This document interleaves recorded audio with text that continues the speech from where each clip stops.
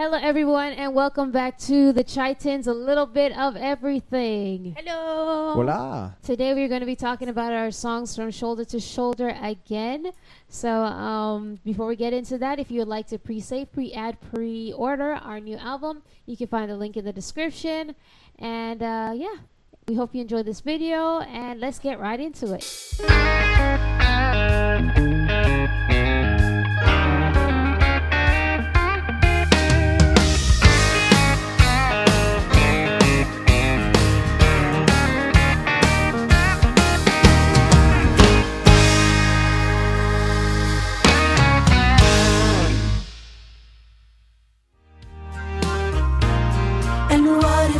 If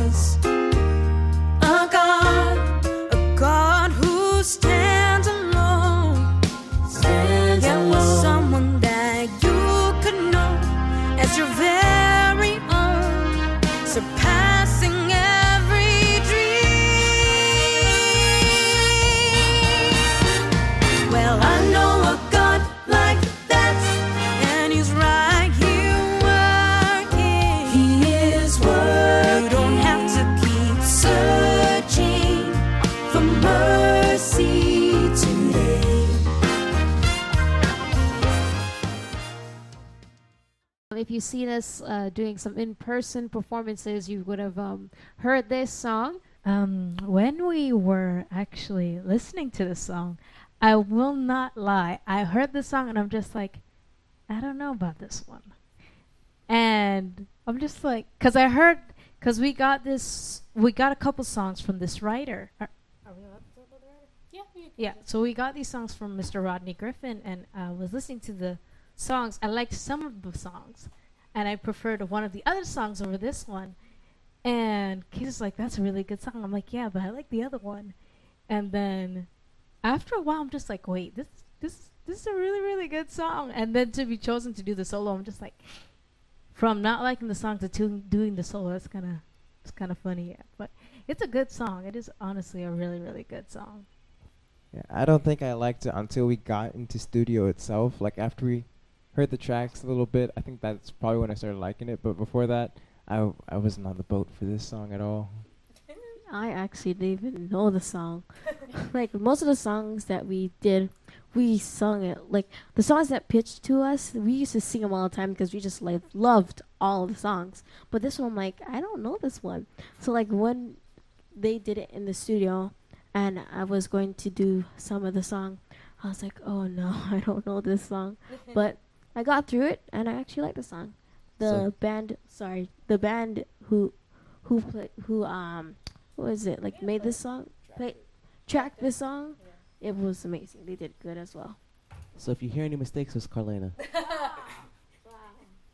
It's not Carolina. I will tell you the truth. We've sung this about two or three times, and um, I forgot the words the first time, and I'm just like, I don't know the words to this. So if anything goes wrong, it was my fault. And so said, so done. I'm there. Uh, we're singing the second verse now, and I'm just like, I don't know the words, and I'm looking at them, and after, cause I started it, but I started with the wrong words.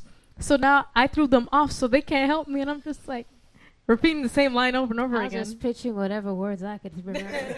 I'm just like, well, I just wrote the second verse of this song. But um, when I first heard this song, it brought me back to a time when I like I don't remember if it was before I was baptized or after I was baptized. But um, I remember uh, I had just gotten into computers and I just discovered um, Microsoft Publisher. And so I was just messing around with it, doing different things here and there and having fun. And then I was like, ooh, it would be really nice if I could make something that I could give to people about Jesus. Um, because I absolutely loved Jesus, still do, but um, it's like you know my mindset was a little bit different back then so i was um writing all these different things and basically i wrote out this kind of scenario i was like what if there was this person who um, came and told you, okay, listen, this is what's going to happen. There's going to be some bad things that are going to happen. I have a place that I'm preparing for you, and you know I'm going to save you. So if you would like to come with me, it's totally up to you. The choice is yours. But you know, this is my invitation. Uh, you can live forever in happiness. You won't have to worry about anything else. There will be no more sickness, nothing like that. And you know, I love you this much, and nobody's nobody else's love can ever compare to that. And when I heard this song, that's what it brought me back to. Like, what if there was a God who could do anything and who could love you and who really saw the best for you and would do the best for you? Like, what if there was a God who loved you unconditionally or who would give his life for you? That is what this song really brought back to me. And the beautiful thing is that we answer this question in this song.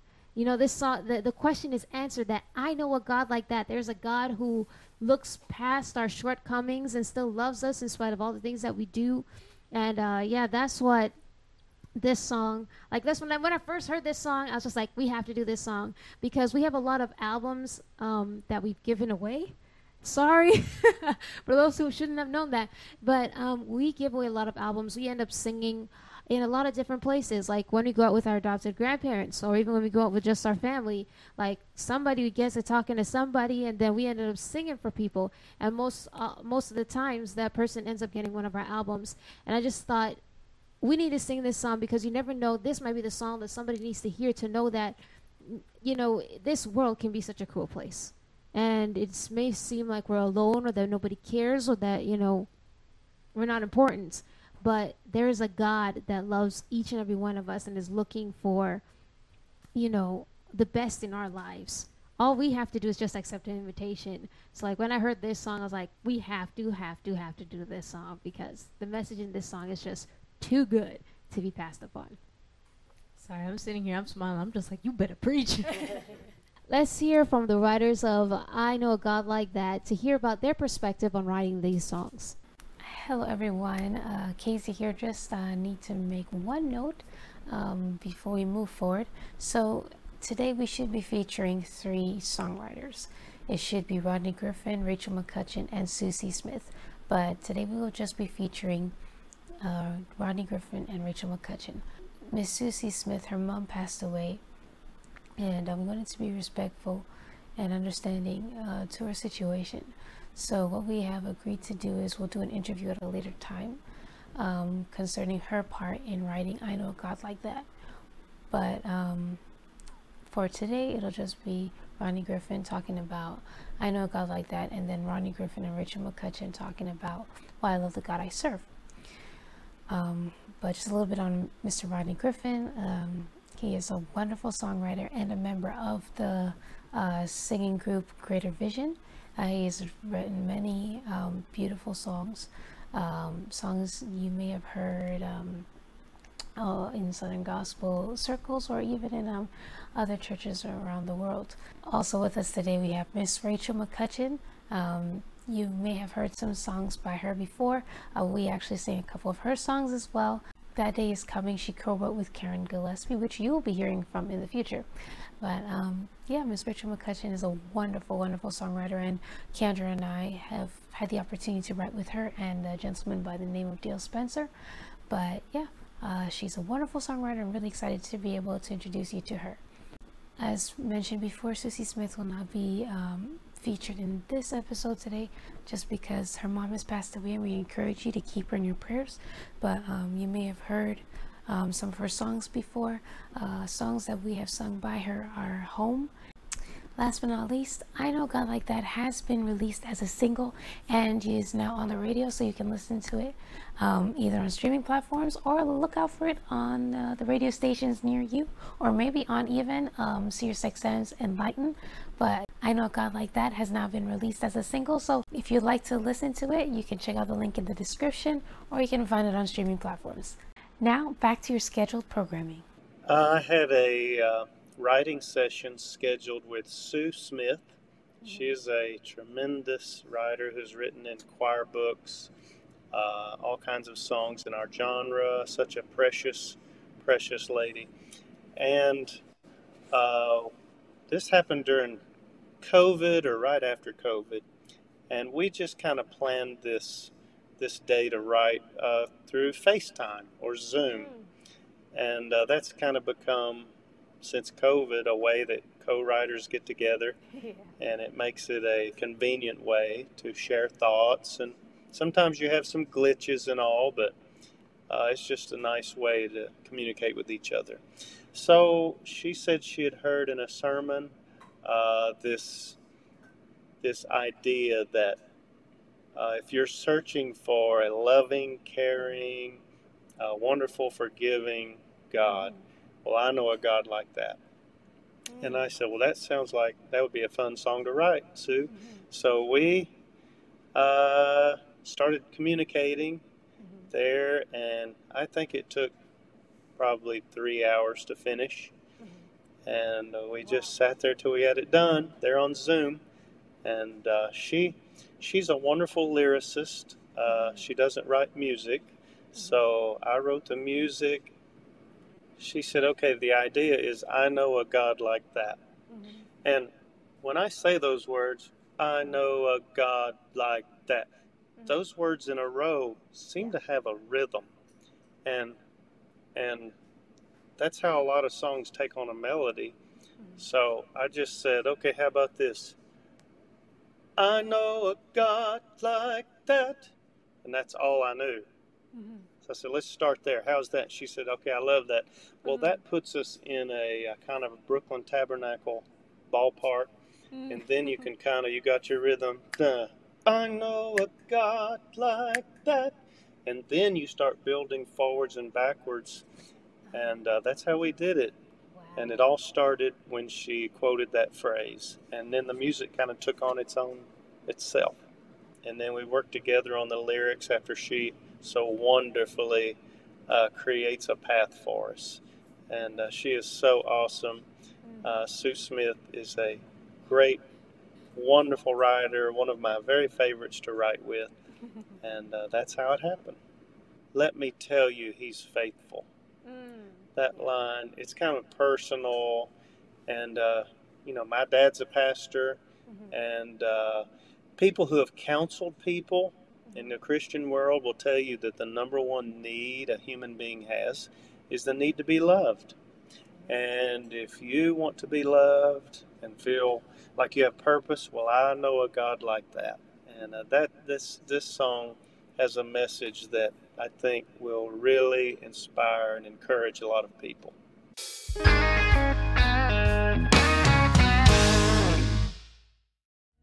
The hope of heaven is enough. The thought alone still lifts me up. But I'm so blessed, He offers even more. He's the promise making, promise keeping, sinner saving, Savior reaching. That is why I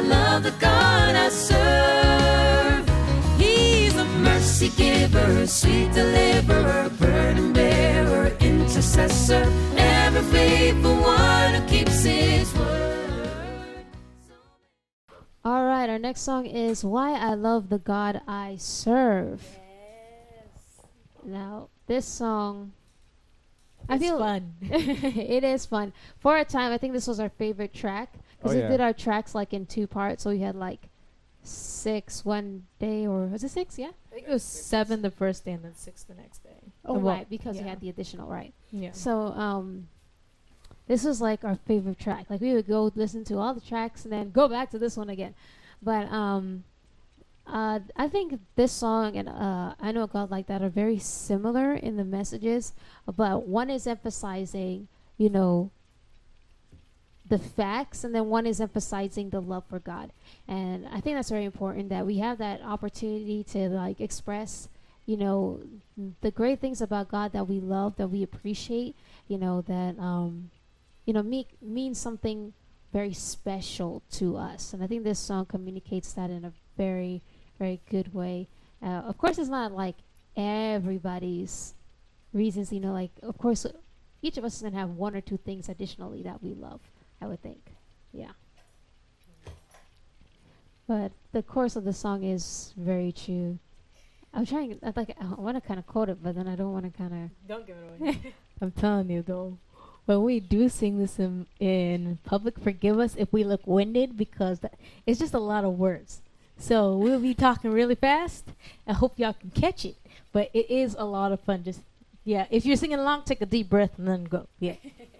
Yes, but um, this uh, we also have a T-shirt, uh, which you guys will see soon. We have a T-shirt for this um song, but it includes uh some of the the lyrics uh, on the um on uh, from the chorus. So uh, uh well Don't give any away. well honestly, I think Don't they might it just hear it because the clip I might just put in this song That's Okay. true. So he is a promise making, promise keeping, sinner saving, savior reaching. That is why I love the God I serve. He is a mercy giver, sweet deliverer, burden bearer, intercessor. Well, we never say intercessor, it's intercessor. Ever faithful one who keeps his word. Amen. I lost track. Yeah, but the t-shirt has all these fingers. all these different things on it. It's absolutely um, beautiful. And shout out to Yolanda who made these. hmm And a good one thing I love about it is that when we were designing it, we made sure we found the Bible verse references for every single attribute. So on the back, you'll see the name and then the Bible reference. So if you ever need encouragement, it's always on the back of the T-shirt. You just have to look up the the verse for encouragement. Yeah, and I think that's also a great witnessing tool that, you know, if anybody's ever wondering, like, what are they talking about? You can go and you can read the back. And if they're curious, they might just take a picture and go look it up for themselves. But yeah. Yeah, but um, when we were doing this song in studio, the tracking that is, I remember taking a little video of just this one song and posting a little sneak peek of it on on. You did? I maybe I did. And people, uh, people want to hear more, but I couldn't, you know, give more. But that's what I was saying. If you guys want a sneak peek, just let me know. I can. Someone's So- so sleeping in that the makes a lot of sense why somebody is very, very Uh, anxiously yeah, waiting. Yeah, yeah, yeah. So I told y'all if you want a sneak peek, let me know. But um, I, I told them like this is like probably my favorite track on the on the CD. Um, and I was telling them, you know, this this might be a, a new intro for something, just the track itself, because it sounds like um a uh, the intro sounds like an intro to like a, a TV show, like one of them old them old TV shows. So I was like, you know, this could be a good intro to one of our stuff. So I was like, yeah. So let us know what you guys think, and yeah. Well, when the song comes out, then you'll hear it. Yeah, but your phone is on house arrest, buddy. It just might. It is but but, on it- house but, arrest. but but it's always in the house anyway, so it's all good. I'll just stay home. Let's hear from the writers of Why I Love the God I Serve to hear about their perspective on writing this song. Well, uh, this one came from a another Zoom or FaceTime co-write. This time with Rachel McCutcheon. She's a wonderful writer who's written so many wonderful songs for the Collingsworth family, and uh, she's always a pleasure to write with. She's so brilliant with her lyrics. She's so brilliant with her music.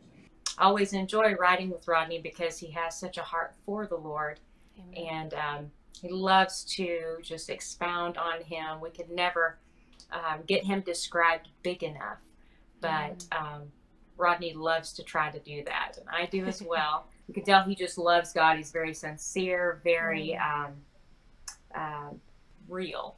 Is the word I think that very authentic, and um, and I just enjoy I enjoy the time writing there. Rodney and I both love trying to describe the Lord, and uh, it's impossible to describe him as big and as mighty and wonderful as and as loving as he is. We enjoy trying. So we've written a few songs and um, we've actually discussed that. But that's something that we were trying to do in this song was tell people why we love the God that we serve so much. And if I remember, she had this idea why I love the God I serve. Um, and we decided we'd just list his qualities, list, uh, list what makes us love this God that we serve. all the things that he does for us that he has done starting with salvation and um, just being the wonderful awesome god that he is So sad to think about uh, those who would worship Buddha or Muhammad or so many of these other uh, dead gods. Uh, they can't list these wonderful attributes that we can about the Lord and Savior Jesus Christ. so we tried to list some reasons in that little fun catchy inter-rhyming way Uh, you know, promise keeper, uh, burden bearer, intercessor. part of what i love is the opening the opening line promise making, promise keeping. Mm. Because in the world that we live in, there are so many who they make promises um, and they fall short. You know, we can do that even as human beings, just being human. Um, but to know that God is true and truth and never changes, um, what He says He will do, Mhm. and He is who He says He is. And that is one of the main reasons that I love Him. Well, a line that ties into that is next to the last line, the ever faithful one who keeps his word. I would say that's one of my favorites. I felt like that that is one of the main themes that we were trying to drive home there. Mm. Um, but I love that he is a burden bearer, yes. an intercessor, hmm that he carries our burdens with us, Mhm. and um, and he intercedes for us. Yeah. So that's just it's very very special. He does what no one else can do in the capacity that he can. So Absolutely. he's just he's my king. He's my master. He's my savior. Uh, the list goes on and on. So we decided to kind of make it a tongue twister. Yeah. I always love it when you can say something that you want to say, but Mm-hmm. you can say it in a fun way. which made it fun to listen to you guys. And you, even our Canadian friends, the Chitans, just just nailed this tongue twister. I can understand every word, and it wasn't even a challenge for you. Sounded like so. We were so thrilled. Uh, I was so thrilled to get to hear the initial uh, mix. Your producer sent it to me, Roger Talley, of this this mix of why I love the God I serve. You did a fantastic job on it. Not to mention that we're just at the beginning of this. Now, when your CD comes out, when people start listening, now you're talking about uh, hundreds, thousands of people being encouraged. Every one of these songs came from a line in a sermon that was preached, so that pastor, um, perhaps he heard it from somewhere else. Perhaps he read it in a book. And then that line was passed on to the congregation, and whoever songwriter was heard that line and thought, wow, I believe this thought can be expounded on and be the subject of a song. So that's really empowering of the gospel to know that one single line is a total is a, is heavy enough to to wear the ba- to bear the weight of an entire song. Yeah. And uh, then uh, the songwriter's experience musically, those who have influenced us, they are inputting here too. So just think of all the people the Lord uses just to create a song. And then you have the Chitans, who you come from uh, different age groups, and all the, the kids are at a different stage of life. and you all come together with this thought that came from a random line of sermon from two random writers who happened to be together that day and God used their gifts to craft a song. It's just only God could put all this together. And that's the beautiful thing about the gospel. Just because that one line was said by a preacher, and he didn't even know anyone was listening. Yet the return is thousands of people will be blessed and encouraged. It's always an enjoyable process to write songs like this and to write with Rodney. Co-writing with him is just um, it's very enjoyable, Hmm. and we get to focus on what the one person that we all love the most, and that is God, Amen. and lifting Him up in song. And I adore Him. We could definitely tell by the lyrics of this song. This song is just completely, I would say, a nice love letter to the Lord. Oh, well, good. Thank you. You're very welcome. Mission accomplished. Absolutely. Well, thank you so much. I, I'm honored that I got the the email. Hey, we're looking for songs, and I was able to send those. And I gave you sent several, and those were the three that you chose. And I was just, it's really rare to have three songs on someone's CD, so I'm extra special, extra specially glad and happy and honored, and uh, it makes it a very special CD for me. And I wouldn't be talking to you if it weren't for Sue Smith and Rachel McCutcheon. So when you co-write, you split all the credit, and I cannot take the credit, but they're not sitting here on the bus right now, so I'm going to give them credit to wherever they are and whenever they watch this. Yes. I love you guys, and it's a pleasure to write with you. we thank you all for joining us today. We hope that uh, this episode gave you an insight on uh, how we feel about the songs why i love the god i serve and i know a god like that and into kind of like the process of picking the songs. Uh, we hope that you enjoyed the little preview and that you uh, enjoyed hearing from uh, the songwriter. Uh, but we we hope that you have a fantastic day. We thank you for joining us. If you enjoyed this video, please let us know by leaving a like or leaving a comment. We'd love to hear about what you're feeling, um, what you're thinking, and stuff like that, what you're excited for. Uh, if you have a favorite song thus far. Well, we are so um, looking forward to hearing from you. If you'd like to be notified about future videos we have coming out, you can subscribe and hit the notification bell. And when you hit the notification bell, if you want to receive every single video that comes out a notification for it, then what you'll do is uh, you'll select all instead of personalized.